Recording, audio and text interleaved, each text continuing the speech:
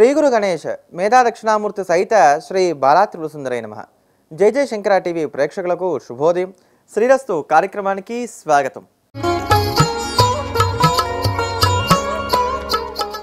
శ్రీరస్తు కార్యక్రమంలో భాగంగా ముందుగా ఈ రోజు ఉన్నటువంటి తిదివార నక్షత్రాదులు గమనిద్దాం. ఈరోజు మార్గశిర శుద్ధ నవమి ఆదివారం ఉత్తరాభాద్ర నక్షత్రం వ్యతిపాత యోగం బాలవకరణం ఉన్నాయి. ఇటువంటి తిదివార నక్షత్రకరణ యోగములు కలిగినటువంటి నేటి రోజున ఆధ్యాత్మికమైనటువంటి కార్యక్రమాలకు కాలం అనుకూలంగా ఉన్నది అని చెప్పుకోవాలి. సాధారణమైనటువంటి కార్యక్రమాలకు ఆధ్యాత్మిక కార్యక్రమాలకు ఈరోజు కాలం అనుకూలంగా ఉంది. ఎందుకు ఈ రోజున ఆధ్యాత్మిక కార్యక్రమాలకు కాలం అనుకూలంగా ఉంది అంటే ఒకటి వ్యతిపాత యోగము ఉన్నది కనుక ఈ వ్యతిపాతలు ఎప్పుడు వచ్చినప్పటికీ దేవతా తర్పణములకు పితృతర్పణములకు అదే ప్రకారంగా మనం చేసేటువంటి ధార్మికమైనటువంటి కార్యక్రమములకు ఆధ్యాత్మికమైనటువంటి కార్యక్రమాలకు చాలా విశేషంగా చెప్తారు. అందుకని వ్యతిపాత యోగం ఉన్నది కనుక అనేది మరో ఒకటి. రెండవది ఏమిటంటే ఈ రోజున ధనుస్సంక్రమణ పుణ్యకాలం ఉంది. సూర్యభగవానుడు ధనుర్రాశిలోకి ప్రవేశిస్తున్నటువంటి కారణం చేత మూడవది నేటి నుంచి ధనుర్మాసం ప్రారంభమవుతున్నటువంటి కారణం చేత. ఈ మూడు కారణముల చేత ఈ రోజు నుంచి కూడా చేసేటువంటి ఆధ్యాత్మిక కార్యక్రమాలు ఏవైతే ఉన్నాయో వీడికి అత్యంత ప్రాధాన్యత ఉన్నది. అందుకని ఈ రోజున చేసేటువంటి ధార్మిక కార్యక్రమాలకు విశేషం. ఇక తిథిని అనుసరించి ఈ రోజు ఉన్నటువంటి విశేషం ఏమిటి అని అంటే మార్గేతు శుక్ల నవమి నందిని పరికీర్తిత తస్యాముపోషితం యస్తు జగదంబాం ప్రపూజేత్ గంజాధ్యయసు అశ్వమేధస్య ఫలభాక్ నాత్ర సంశయ అంటోంది పురాణం. ఈ యొక్క మార్గశిర మాసంలో ఉండేటువంటి శుద్ధ నవమికి నందిని అనబడేటువంటి పేరుందిట. ప్రతి మాసంలో కూడా ఉండేటువంటి అష్టమి తిథి శివస్వరూపమే భాషిస్తూ ఉండగా నవమి తిథి దేవీ స్వరూపమై భాషిస్తూ ఉంటుంది. ఆ నవమి నాడు అమ్మవారిని పూజించడం వల్ల కలిగేటువంటి ఒక్కొక్క మాసంలో వచ్చేటువంటి ఒక్కొక్క విధమైనటువంటి ఫలితాన్ని పురాణం బహువిధాలుగా పేర్కొంటూ వస్తున్నది. వాటిలో ఈ మార్గశిర మాసంలో ఉండేటువంటి శుద్ధ నవమి నందిని అని వ్యవహరింపబడుతుంది అని అన్నారు. నందిని అంటే సదా ఆనందముగా ఉండేటువంటిది పరిపూర్ణమైనటువంటి ఆనందమును మనకు అనుగ్రహింపజేసేటువంటిది అనేటువంటి అర్థములు ఉన్నాయి. అటువంటి ఆనందాన్ని అనుగ్రహించేటువంటి ఆ జగన్మాతను ఈ రోజున షోడశోపచారములతో కనుక పూజించినట్లయితే అలా చేసినటువంటి వారందరికీ కూడా అశ్వమేధ యాగము చేసినటువంటి ఫలితము కలుగుతుంది అని అన్నారు. కనుక అశ్వమేధ యాగ ప్రతి ఫలాన్ని కోరుకునేటువంటి వారందరూ కూడా ఈ రోజున జగన్మాతను పూజించాలి. పరిపూర్ణమైనటువంటి ఆనందాన్ని వారందరూ కూడా అనుభవించగలుగుతారని చెప్పారు. కర్మసాక్షి ప్రత్యక్ష భగవాన్ అయినటువంటి సూర్యనారాయణమూర్తి ఈ రోజున వృశ్చిక రాశిలో నుంచి ధనుర్రాశిలోకి ప్రవేశిస్తూ ఉంటాడు. ఇలా ధనుర్మాసంలో జరిగేటువంటి ఈ రాశి సంక్రమణ పుణ్యకాలానికి షడశీతి ముఖము అని పేరు. దీన్నే షడశీతి పుణ్యకాలము అని అంటారు. ఈ షడశీతి పుణ్యకాలం ఈరోజు ఉదయం తొమ్మిది గంటల పది నిమిషాలకు ప్రారంభమై మధ్యాహ్నం మూడు గంటల ముప్పై నిమిషాల వరకు కూడా ఉంటుంది. ఈరోజు ఉదయం తొమ్మిది గంటల పది నిమిషాలకు ప్రారంభమై మధ్యాహ్నం మూడు గంటల ముప్పై నిమిషాల వరకు కూడా ఉంటుంది. కనుక ఈ సమయంలో చేసేటువంటి స్నాన దాన జప హోమ తర్పణాదులన్నీ కూడా అక్షయమైనటువంటి పుణ్యాన్ని కలగజేస్తాయి. ప్రతి మాసం కూడా సూర్యనారాయణమూర్తి ఒక రాశిలో నుంచి మరొక రాశిలోకి మారుతూ ఉంటాడు. ఇలా రాశి మారేటువంటి సమయాన్నే మనం సంక్రమణం అంటాం. ఇలా ఈ రాశి మార్పు ఈ రోజున మనకి ధనుర్రాశిలోకి ప్రవేశిస్తాడు కనుక దీనికి ధనుస్ సంక్రమణం అని ఇక్కడి నుంచి నెల రోజుల వరకు కూడా మళ్ళా సూర్యుడు మకర రాశిలోకి ప్రవేశించి ఉత్తరాయణ పుణ్యకాలం వచ్చేటువంటి మకర సంక్రాంతి పండగ ఏదైతే వస్తుందో అంతవరకు కూడా ఉండేటువంటి కాలాన్ని మనం ధనుర్మాసం అని పేర్కొంటూ ఈ ధనుర్మాస ఉత్సవాలన్నీ కూడా నేటి నుంచి కూడా మనం ప్రారంభం చేసుకుంటాం. ప్రతి నెల వచ్చేటువంటి ఈ ధనుర్మాసంలో లేదా ఈ సంక్రమణం రవి సంక్రమణ సమయాలు ఏవైతే ఉన్నాయి రవి సంక్రమణ సమయాల్లో ఒక్కొక్క రవి సంక్రమణానికి ఒక్కొక్క విశేషమైన దానమును దానమయూకము దానచంద్రిక వంటి గ్రంథములు పేర్కొన్నాయి. వాటిని అనుసరించి ధనుప్రవేశే వస్త్రాణం యానానాం దానముచ్యతే అంటూ ధనుర్రాశిలో సూర్యుడు ప్రవేశించినటువంటి సమయంలో ఈ పుణ్యకాలంలో ఉదయం తొమ్మిది గంటల పది నిమిషాల నుంచి మధ్యాహ్నం మూడు గంటల ముప్పై నిమిషాల లోపుగా వస్త్రములను అదే ప్రకారముగా యానవులు అంటే వాహనమును దానం చేయమన్నారు. వాహనం అంటే మనం విస్తారంగా దానం చేయలేకపోయినా కనీసం వస్త్రమును యథాశక్తిగా దానం చేయొచ్చు వాహన ప్రత్యామ్నాయంగా మన దక్షిణతాంబూలాలను దానంగా ఇవ్వవచ్చు. ఇలా ఈ వస్త్రదానం చేయడం వల్ల కలిగేటువంటి ఫలితం ఏమిటయ్యా అంటే వస్త్రదాన సువేష సద్రూప ద్రవిణ సంయుత అంటూ వస్త్రదానం చేయటం వలన అద్భుతమైనటువంటి అలౌకికమైనటువంటి అందము ఏర్పడుతుంది. అలానే సాద్రూప ద్రవిణ సంయుత మంచి రూపము కలుగుతుంది మహద ఐశ్వర్యము కలుగుతుంది అని చెప్పారు. అంతేగాక ఈ శీతవాతోష్ణముల నుంచి తట్టుకునడానికి కావలసినటువంటి శక్తి సామర్థ్యములు కూడా ఈ వస్త్రదానం వలనే కలుగుతాయి. పూర్వజన్మలో ఎవరైతే వస్త్రదానం చేయరో వారికి ఈ జన్మలో వస్త్రపరమైనటువంటి లోటు కలుగుతుందని. ఎవరైతే ఈ జన్మలో విస్తారంగా వస్త్రదానం చేస్తారో వారికి రాబోయేటువంటి కాలముల్లో అంటే రాబోయేటువంటి జన్మల్లో వారికి పరిపూర్ణమైనటువంటి వస్త్రభోగ్యం అంతా కూడా లభిస్తుంది అని చెప్పి మనకు పురాణములు చెప్తున్నాయి కనుక ఈ రోజున వస్త్రదానం చేయాలి. అయితే ఈ వస్త్రదానంలో కూడా కొన్ని విశేషాలు ఉన్నాయి వర్ణభేదాన్ని బట్టి ఫలిత భేదం ఉంటుంది అని అన్నారు.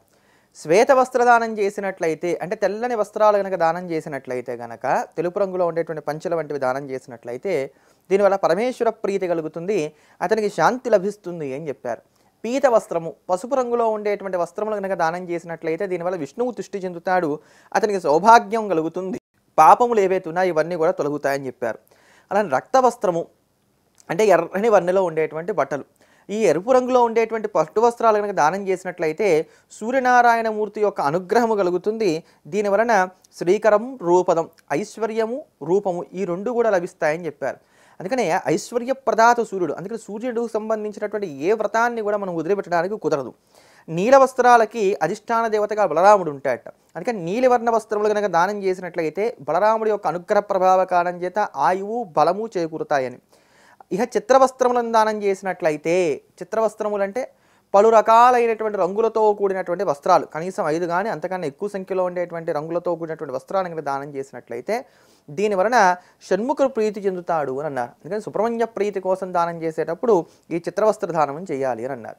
ఇలా అనేకమైనటువంటి విశేషాలు ఈ దానానికి సంబంధించినటువంటివి వస్త్రదానానికి సంబంధించినవి కూడా మనకి లభిస్తాయి. మళ్ళీ ఇందులో ఉన్ని వస్త్రములతో చేసేటువంటి దానాలు పట్టు వస్త్రములకు సంబంధించినవి నూలు వస్త్రములకు సంబంధించినవి ఇటువంటి దాన విశేషాలు కూడా అనేకం దాన చంద్రికలో మనకు కనబడుతూ వస్తాయి. శ్రార్థ చంద్రిక అనబడేటువంటి ఒక ప్రాచీనమైనటువంటి గ్రంథం ఉంది. ఈ శ్రార్థ చంద్రికలో యజ్ఞవల్క స్మృతిగా వచనంగా ఒక మాట చెప్తారు. అంటే యజ్ఞవల్క స్మృతిలో ఉండేటువంటి ఒక వచనాన్ని తీసుకుని చెప్తే ఏమన్నారంటే సంక్రమణ నాడు కనుక పితృదేవతలను ఉద్దేశించి తర్పణాదులు చేసినట్లయితే ఒక మాసం వరకు కూడా పితృదేవతలకు తృప్తి కలుగుతుంది అని. అంటే దీని అర్థం ఏమిటి?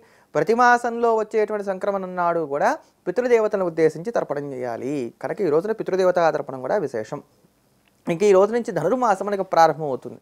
ఈ ధనుర్మాసం ముప్పై రోజులు కూడా ప్రతివారు కూడా ఇంటి ముందు చక్కగా వాకిలంతా కూడా ఊడ్చుకోవడం కలాపి జల్లడం అక్కడ ముగ్గులు పెట్టడం పెద్దమైనటువంటి ముగ్గులు పెట్టడం. రోజు ముగ్గు వేసేటువంటి ఆనవాయితీ ఉన్న ఈయన రోజులు కూడా విస్తారమైనటువంటి ముగ్గులు వేస్తారు పెద్దమైనటువంటి ముగ్గులు వేస్తారు. ఆ ముగ్గులు వేసి ముగ్గుల మధ్యలో హాయిగా మనకి ఏవైతే ఆవు పేడతో వచ్చేటువంటి గొబ్బిళ్ళు ఉంటాయో ఆ గొబ్బెమ్మలను పెడతారు. ఆ గొబ్బెమ్మలు పెట్టి వాటి మీద విభిన్నమైనటువంటి పుష్పాలతోటి పసుపుతోటి కుంకంతోటి అలంకారం చేస్తారు. అలా ఈ నెల పొడవంతా కూడా చేసి ఈ గొబ్బెమ్మలు ఏవైతే ఉన్నాయో వీటితో పిడకలు తయారు చేసుకుని ఆ పిడకలు అట్టి పెట్టుకుంటారు. ఈ పిడకల దండ ఏదైతే ఉంటుందో దీన్ని కొంత దండగా తయారు చేసుకొని కొన్ని పిడకల్ని వాటిని భోగి రోజున మంటల్లో కొన్ని వేస్తారు. మరికొన్ని పిడకలు అట్టి పెట్టుకొని ఆ పిడకల మీదనే మనకి మళ్ళీ రథసప్తమి వచ్చినటువంటి రోజున పాలు పొంగిస్తారు. వాటి ఉపయోగించవలసినటువంటి బండ్లా కూడా ఆ పిడకలని ఏవయ్యా అంటే ఇక్కడ చేసేటువంటి గొబ్బెమ్మలే ఈ గొబ్బెమ్మని మనం ఏమని పిలుస్తాం? గొబ్బినారాయణుడు అని పిలుస్తాం. తలి మధ్యలో ఉండేటువంటి ముగ్గు మధ్యలో ఉండేటువంటిది ఏదైతే ఉంటుందో ఆ ప్రాంతంలో పెద్ద గొబ్బెమ్మ పెడతారు. ఆ చుట్టుపక్కలన్నీ కూడా చిన్న చిన్న గొబ్బెమ్మలు పెడతారు. అందుకని పెద్ద గొబ్బెమ్మకేమో తల్లి గొబ్బెమ్మని ఈ చిన్న చిన్నగా పెట్టేటువంటి గొబ్బెమ్మలకేమో పిల్ల గొబ్బెమ్మలని పేరు. ఆ మధ్యలో ఉండేటువంటి గొబ్బినారాయణుడు కృష్ణుడని చుట్టూ ఉండేటువంటి పిల్లగొబ్బిళ్ళన్నీ కూడా సాక్షాత్తు గోపికలు అనేటువంటి భావనతో చేస్తారు. ఒక రకంగా ఇది కాత్యాయని వ్రతంతో సమానంగా చెప్పబడినటువంటి వ్రతం. పొద్దునే నిద్రలేవడం ప్రాతకాలంలోనే చన్నీటితోటి స్నానం చేయడం విస్తారమైనటువంటి ముగ్గులు పెట్టడం ఇదంతా కూడా మన ఆనవాయితీ. దీనివలన మంచి భర్త లభిస్తాడని అఖండమైనటువంటి సౌభాగ్యం కలుగుతుందని లక్ష్మికి ఇది ఆహ్వానంగా ఉంటుందని చెప్తారు. ఈ రంగవల్లికలు తీర్చిదిద్దడంలో కూడా ఒక ప్రత్యేకత ఉంది. ఐశ్వర్యాన్ని కోరుకునేటువంటి వారు ప్రతిరోజు ఈ ముగ్గు వేయాలని అలానే భాగ్యాన్ని కోరుకునేటువంటి వారు ఏ ముగ్గు వేయాలని ముగ్గుల్లో కూడా కొన్ని విశేషాలు చెప్పబడ్డాయి. అసలు ఇంటి ముందు వేసేటువంటి ముగ్గును అనుసరించి మనకు కలిగేటువంటి ఫలితాలన్నీ కూడా మనం తెలుసుకోవచ్చు. అంటే ఆ ఇంట్లో ఎటువంటి శుభకార్యాలు జరుగుతున్నాయి లేకపోతే ఎటువంటి సందర్భంలో ఉన్నారో కూడా పూర్వం తెలుసుకునేవారు. ఇప్పుడు ఈ విజ్ఞానం చాలా వరకు కొరవడుతూ వస్తున్నది. ఇలా మొత్తానికి ఈ సంధి గొబ్బెమ్మలు పెట్టిన తర్వాత అంటే సాయంకాలం వేళ కూడా కొంతమందికి గొబ్బెమ్మలు పెట్టే ఆనవాయితీ ఉంటుంది. అలా సాయంకాలం వేళ కనుక గొబ్బెమ్మలు పెడితే దాన్ని సంధి గొబ్బెమ్మలు అంటారు. ప్రాతకాలంలో గొబ్బెమ్మలు పెట్టినట్లయితే కనుక గొబ్బినారాయణ అనేటువంటి పేరుతో మనం పూజించుకుంటూ ఉంటాం. ఏదైనప్పటికీ కూడా శుభమే. అలా గొబ్బెమ్మలు పెట్టినప్పుడు సుబ్బీ గొబ్బెమ్మ సుఖములీయవే తామర పువ్వు వంటి తమ్ముణ్ణీయవే చేమంతి పువ్వు వంటి చెల్లినీయవే బంతి పువ్వు వంటి భావనీయవే మల్లె పువ్వంటి మామనీయమే మొగలి పువ్వు వంటి మొగుణ్ణివ్వవే అంటే చక్కగా పాటలు పాడుకుంటూ ఆ పెళ్ళి కానటువంటి కన్యామణులందరూ కూడా తమని గోపికలుగా భావన చేస్తూ ఈ మధ్యలో ఉండేటువంటి గొబ్బెమ్మని కృష్ణుడిగా భావన చేస్తూ చక్కగా పాటలు పాడుకుంటూ వారి చుట్టూ కూడా హాయిగా కేళి ఉత్సవాన్ని జరుపుతారు. ఇది ఒక విశేషం దీనివలన ఒక మంచి భర్త లభిస్తాడు అనేటువంటి ఖ్యాతి ఉన్నది. అందుకనే ఆండాల్ తల్లి పన్నెండు మంది ఆళ్వార్లలో కూడా ఈ తల్లి ఒక్కత్తియే స్త్రీమూర్తి. ఈమె ఈ పన్నెండు రోజులు కూడా ధనుర్మాసం నెల రోజులు కూడా వటపత్ర సాయిగా ఉన్నటువంటి కృష్ణ పరమాత్మను తన భర్తగా భావన చేసి ఆయన తనకు భర్తగా లభించాలనేటువంటి కాంక్ష చేత తనను తాను గోపికగా భావన చేసుకొని తన తోటి వారందరినీ కూడా తోటి గోపికలుగా భావన చేసి తానుండేటువంటి ప్రాంతమనే రేపలుగా భావన చేసుకొని ప్రాతకాలంలో నిద్రలేచి చల్లని నీళ్ళతో స్నానం చేస్తూ ఈ వ్రతమంతా కూడా ఆచరిస్తూ వచ్చి ధనుర్వాస వ్రత ప్రభావ కాలం చేత రంగనాథుడి ఎందు ఐక్యత చెందింది అని చెప్తారు. అందుకు ఈ రోజున చాలా విశేషంగా చెప్తారు. దీన్ని పురస్కరించుకొని నేటి నుంచి కూడా తిరుమల క్షేత్రంలో చాలా విశేషమైన ఉత్సవాలు జరుపుతారు. అన్ని దివ్య దేశాల్లో కూడా చాలా అద్భుతమైన ఉత్సవాలు జరుపుతారు.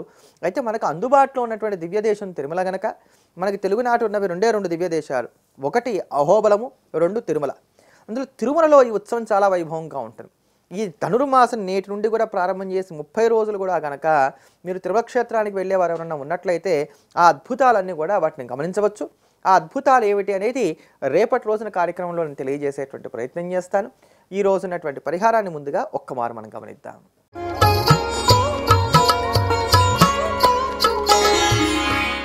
మన నిత్య దైనందిన జీవితంలో మనం ఎదుర్కొనేటువంటి ఇబ్బందుల నుంచి బయటపడడానికి గాను తేలిగ్గా ఉపకరించేటువంటి పరిహారాల గురించి మనం ప్రతిరోజు తెలుసుకుంటున్నాం కదా. ఆ క్రమంలో ఈ రోజున హఠాత్తుగా ఆర్థికపరమైనటువంటి ఇబ్బందులు వస్తున్నాయి అనుకున్నప్పుడు మనం పాటించుకోవాల్సినటువంటి పరిహారాన్ని గురించి తెలుసుకుందాం. సాఫీగా సాగిపోతుంది జీవితం చక్కటి జీవితం వస్తుంది హాయిగా ధనం వస్తుంది అయినా ఇక్కడ కూడా ఇబ్బందులు ఏం రాకుండా ఉన్నాయి. ఉన్నట్టుండి మాత్రం ఏదో ఇబ్బంది వచ్చేస్తుంది అసలు ఎందుకు ఈ హఠాత్తుగా ఇలా ఆర్థిక ఇబ్బంది వచ్చిందనేది మనకు తెలియట్లా. లేదా కొంతమందికి ఎలా ఉంటుందంటే హాయిగా ఉన్నాం అమ్మయ్య అనుకోగానే ఆర్థికపరమైన సమస్య ఏదో ఒకటి వస్తుంది. ఆ సమస్య తీరితే మళ్ళీ జీవితం సాఫీగా సాగుతోంది అనుకోగానే మళ్ళీ హఠాత్తుగా ఆర్థిక సమస్య వస్తుంది. ఇలా ఈ షడన్ బ్రేక్స్ ఏవైతే ఉన్నాయో రాకుండా ఉండటానికి గాను ఉపకరించేటువంటి పరిహారం దాన్ని మనం తెలుసుకునేటువంటి ప్రయత్నం చేద్దాం. దీనికి ఉపయోగపడేటువంటి వారం ఏది అని అంటే అమావాస్య దాటిన తర్వాత వచ్చేటువంటి మొట్టమొదటి సోమవారం. ఇది సంవత్సరానికి ఒక మారు కనీసంగా చేసుకుంటూ మీరు వెళ్ళినట్లయితే చాలా వరకు మేలు కలుగుతుంది. అమావాస్య దాటిన తర్వాత వచ్చేటువంటి మొట్టమొదటి సోమవారం. పదకొండు అంటే పదకొండు గోమతి చక్రాలు తీసుకోండి. ఈ పదకొండు గోమతి చక్రాలు కూడా తీసుకొని ఒక పసుపు రంగు పట్టు వస్త్రం పరిచి దాని మీద పెట్టండి. ఒక పసుపు రంగు పట్టు వస్త్రం. నేల మీద కాకుండా కాస్త ఒక పీట లాంటి దాని మీద ఈ పట్టు వస్త్రాన్ని వేసి దాని మీద ఈ పదకొండు గోమతి చక్రాలు కూడా పెట్టి వాటన్నిటికీ కూడా కుంకంతో చక్కగా బుట్టు పెట్టండి. ప్రతి గోమతి చక్రానికి కూడా చక్కగా కుంకంతో బొట్టు పెట్టండి. పెట్టేసిన తర్వాత వీటిని చక్కగా మూటలాగా కట్టేయండి.